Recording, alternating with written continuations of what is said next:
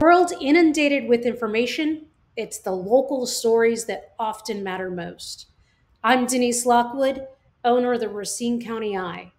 And tonight, we're here to shed light on a cause that's close to our hearts the Strengthening Local News fundraiser for the Racine County Eye.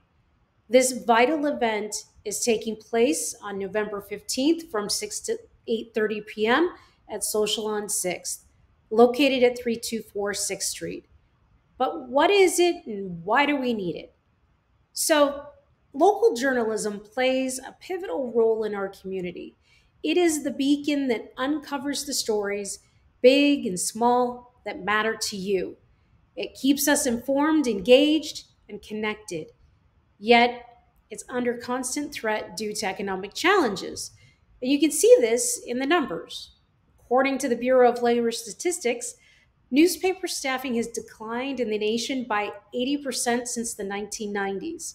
And these declines have left gaps in our coverage, stories untold, and questions unanswered. But tonight, Racine County Eye stands ready to fill that gap.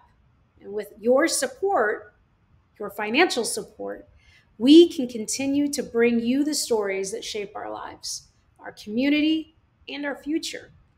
And to participate in this movement, scan the link right over there to purchase your tickets today. If you can't attend the fundraiser, that's okay. There's a donation button uh, that you can also click to uh, that scanner, scan that spot right over there. Every contribution counts, and it's your support that fuels our mission.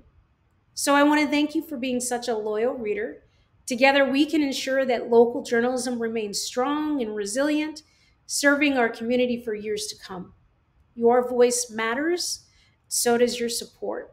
Join us November 15th at Social on 6th and be a part of something truly meaningful.